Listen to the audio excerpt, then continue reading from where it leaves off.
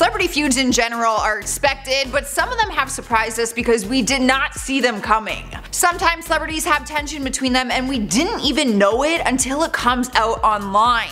So today on Beyond the Screen we are checking out the top 10 celebrity feuds that we never saw coming. I'm your host for this one, I'm Joss Bedard. Thanks for checking out our channel. If it's your first time here, stick around to the end because I do some comment shoutouts from some of my other videos and it's a lot of fun. And come say hi to us on social media, all of our links are down below. But for now, let's get into the list. Starting us off at number 10 is Mason Disick and Jeffree Star. First of all, isn't Mason Disick like 9 years old? How hell did he end up in a feud with the biggest YouTube beauty guru in the world? I'm confused. Here's what happened. For starters, Mason Disick is Kourtney Kardashian's oldest son in case you did not know who he is. He recently started a fire in March 2020 when he went online and called Jeffree Star spoiled AF. But Jeffree fired back at him even though he is in fact, guys, 10 years old. Jeffree responded by a tweet and said, I had $500 in my bank account 6 years ago. Maybe he's confused with his own privilege versus mine being self-made. Hopefully his father can educate him soon.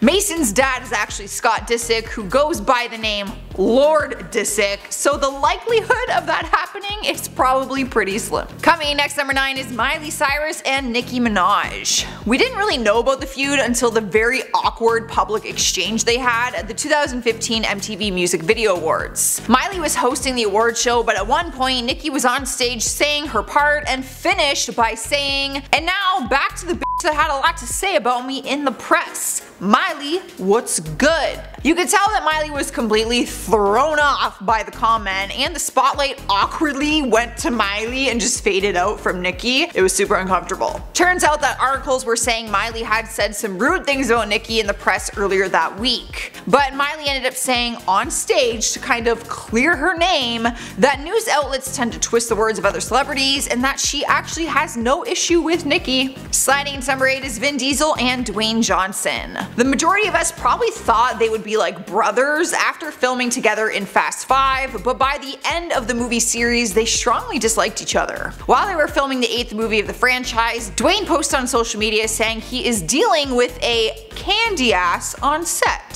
Fans were confused at first because we didn't really expect there to be so much tension to a point where you're writing about it on social media. There were rumors going around at that time about these two fighting, so people just kind of quickly piece that together. Dwayne later spoke about it and said he has put it behind him and apparently their tension was so bad at some points that they actually requested stand-ins to film some of their scenes. Rolling to number 7 we have Chelsea Handler and Angelina Jolie. To be honest, I didn't even know that they had beef with each other, so that is how unexpected this one is for me personally. The tiff came after news broke of Angelina and Brad Pitt's divorce. Apparently Chelsea was not okay with their decision and she did not hesitate to express her thoughts on it. She spoke about it and called Angelina a effing lunatic. It was later revealed that she had a personal issue with her because she once fooled around with her friend's man, referring to Brad Pitt's ex Jennifer Aniston who is friends with Chelsea. But Chelsea later felt bad for her comments and said, I'm upset that I was so upset with Angelina Jolie, I realize she is probably just trying to do her best too.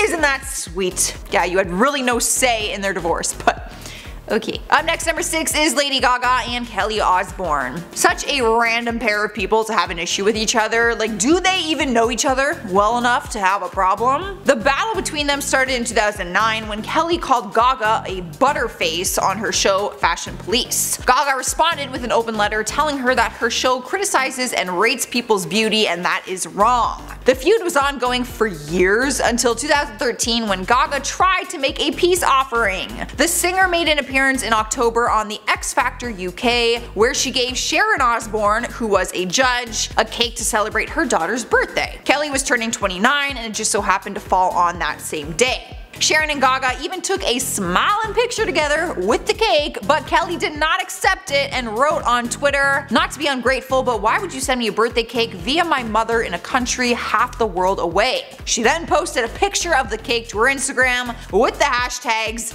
eat my poo and hashtag hypocrisy. But Gaga ended the feud and responded with kindness, God bless her soul, and she tweeted, I didn't know it was your birthday until this afternoon, meant as a peace offering, happy birthday. God bless Gaga, are you kidding me? I would just take that cake home and eat it myself.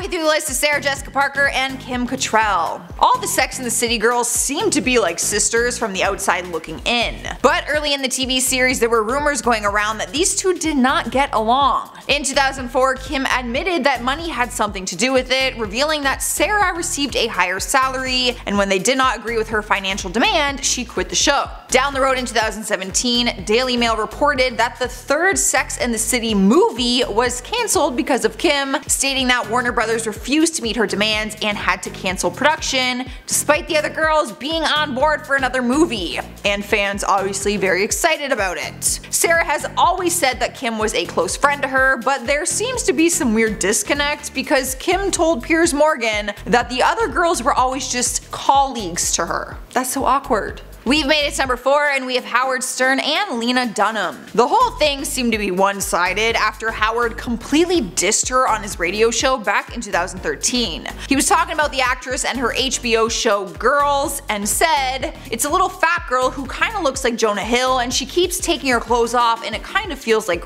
I don't want to see that. The whole comment was honestly like very unnecessary, not sure where it came from, but Lena was able to laugh it off later on and she actually called into a show to talk about it after he apologized though. He did end up apologizing for that random comment uh, and they were able to kind of shake it off. Taking over the third spot is Chloe Grace Moretz and Kim Kardashian. Another random feud that happened on Twitter and lasted way longer than it needed to. It started after Kim posted a nude mirror selfie on her social media pages. The selfie was obviously a little censored, but Chloe did not approve of her post and made sure everyone knew about it. Chloe commented on her post and wrote, I truly hope you realize how important setting goals are for young women, teaching them we have so much more to offer than our bodies. Kim quickly fired back, pointing out that Chloe posed nude for her Nylon magazine cover shoot. Side note, she was actually wearing a jacket over her body, but she is nude underneath, so yeah. Kim tweeted in response saying, Let's all welcome Chloe Moretz to Twitter since no one knows who she is. Your nylon cover is cute, boo. Kim's family even got involved after that and Khloe Kardashian started tweeting at her too. And honestly, it was just Twitter chaos. Taking over number 2 spot is Neil Patrick Harris and James Woods. Neil posted a photo of an 8 year old boy with his family at Pride and James tweeted a response that was incredibly inappropriate and offensive. He tweeted, This is sweet. Wait until this poor kid grows up, realizes what you've done, and stuffs both of you dismembered into a freezer bag in the garage. I mean, who in their right mind says something like that to someone? Like, to me, the only type of person to say something like that is someone who would dismember someone and stick them in the freezer. That is crazy. Neil responded by calling him utterly ignorant and classless and said that he should be ashamed of himself. Turns out Neil was actually very close with the young boy's family, which is why he took that photo with him. In the number one spot is Ariana Grande and Piers Morgan. The pop star picked a bone with him back in 2018 after he criticized Ellen DeGeneres, claiming that she drools over famous men's bodies and how if he did that towards women he would be called a pig. He also went after a Little Mix and said that they use nudity to sell their records, not their talent. Ariana Grande got involved by sticking up for Ellen even though the comments had nothing to do with her. She tweeted at him saying, Ellen is an incredible and kind human being. I use my talent and my sexuality all the time because I choose to. Women can be sexual and talented, naked and dignified. It's our choice. And we will keep fighting till people understand. I say this with all due respect, but thank you next. The two of them battled it out for a bit in tweets, but later admitted that they had a civil conversation and worked it all out. Alright guys, that's all I have. I'm gonna end this video with some comments from celebrities who don't deserve the hate they get. Edward Williams says, maybe 95% of celebs are getting hatred because of how media portrays them to us. I mean, it really could be. A lot of times, I do believe that obviously they are painted in a certain light in media, but I feel like some of them are legit. What up Gigi says, people's issues with Amy is a lot of her content is stolen from other comedians, there's tons of compilations proving it. Whoa, that are that is some serious tea and claims. I have not heard this. I feel like a lot of comedians like could steal from other comedians in general. You know? I feel like I've heard a lot of jokes the same time.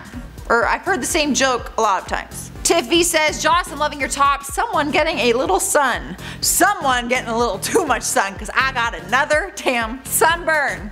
I went camping. Mr. Sister Fister says, I can't stand Lady Gaga, but what is wrong with her body? Absolutely nothing is wrong with her body. That is the whole thing. People were calling her fat after she performed at the Super Bowl. By no means did she look fat or is she fat and there's nothing wrong with her body. Shame on people. Alright guys, that is all I have. I'm getting out of here. Make sure you subscribe and ring the bell to hang out with us every day. I'm your host Joss. I will see you next time. Oh my god, that was so awkward. Do you remember that? Have you seen that? Yeah, What's good, Miley? Like literally in front of the entire room. It was so awful. Fly! Eh! Eh!